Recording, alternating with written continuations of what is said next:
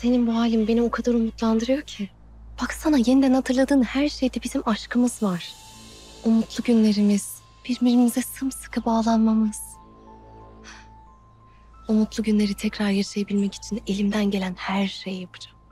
Her şey.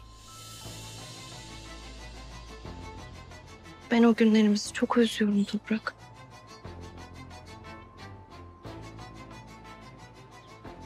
Biraz odamda olacağım. Hayatım istediğin bir şey olursa bana söyle. Halide'ye söyleyeyim getirsin sana. Gerek yok.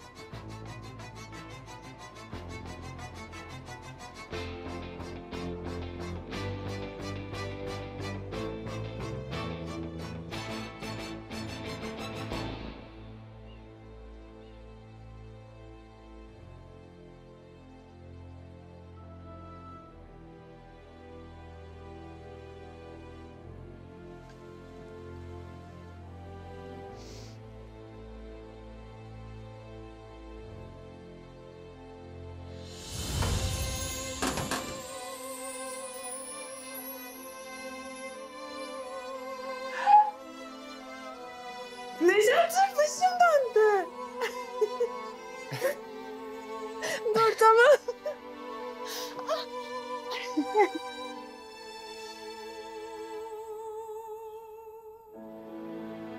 Ah, bazen diyorum ki... Acaba ne yaptım da hayat senin gibi birini karşıma çıkardı? O ne demek şimdi?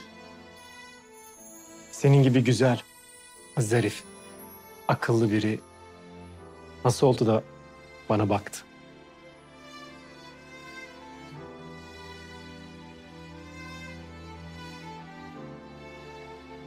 Bilmeden çok büyük bir iyilik mi yaptım acaba? Senin gibi biri ödül olarak geldi. Asıl sen benim ödülümsün Nejat. Şu hayatta karşıma çıkabilecek en güzel şeysin.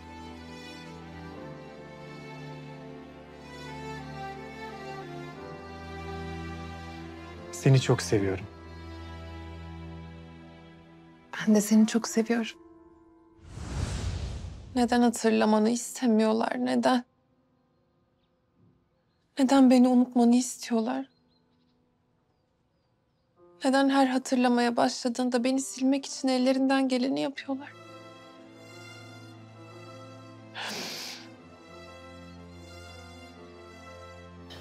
Onlara inanma sevgilim. Bizi hatırla. Eski güzel günlerimizi hatırla.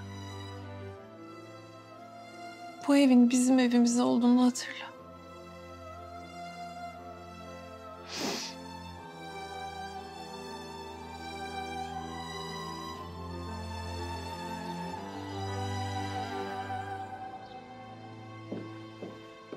Aydancığım, gel kızım. Sana bir kahve söyleyelim mi? İçer misin? Olur.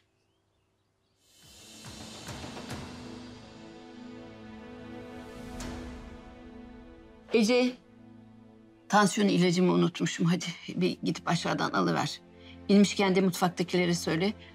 Aydancığıma şöyle bol köpüklü bir kahve yapsınlar. Hadi. Tamam anneciğim getiririm. Ama sen de ihmal etme. Gelince telefona alarm kurarız. Tamam tamam kurarız.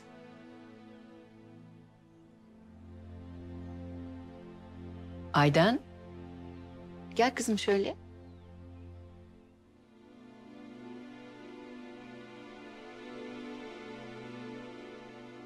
Ne oldu? Bir şey mi oldu? İçim hiç rahat değil. Toprak anlattıklarıma ikna olmamış gibi. Her şeyi bana tekrar anlattırdı. Aydancığım, Toprak benim oğlum.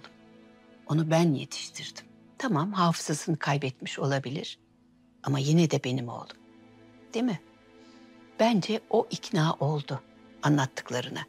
Ama biraz kafası karışık. Biraz zamana ihtiyacı var. Bırak anlattıklarını biraz kafasında tartsın. Sonunda sana inandığını anlayacaksın. Hem ikna olmasaydı, daha başka şeyler hatırlasaydı itiraz etmez miydi? Hayır ben böyle hatırlıyorum demez miydi?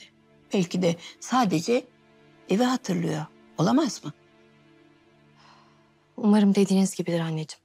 Yani şu nikah işini bunlar başımıza gelmeden aradan çıkarabilseydik çok iyi olacaktı. Toprağın bazı şeylerin nikahtan sonra hatırlaması işimize yarayacaktı. Ama şimdi hatırlamaya başlarsa işimiz çok daha zor olacak. Toprak konusunda ne kadar hassas olduğumu biliyorsunuz. Rica ediyorum siz de bu konuda daha dikkatli davranın.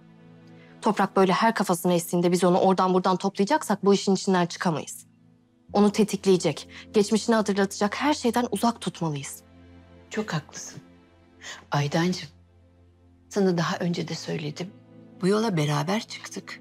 Biliyorsun, ben senin en büyük destekçinim.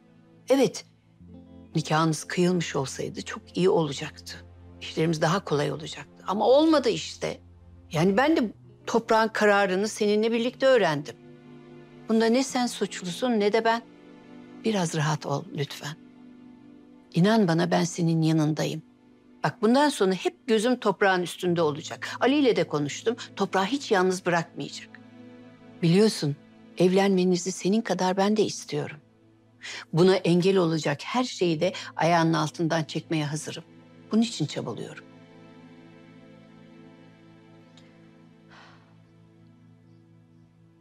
Ben odama gidip dinleneceğim. Eh kahvende gelmedi zaten. Başka zaman içeriz.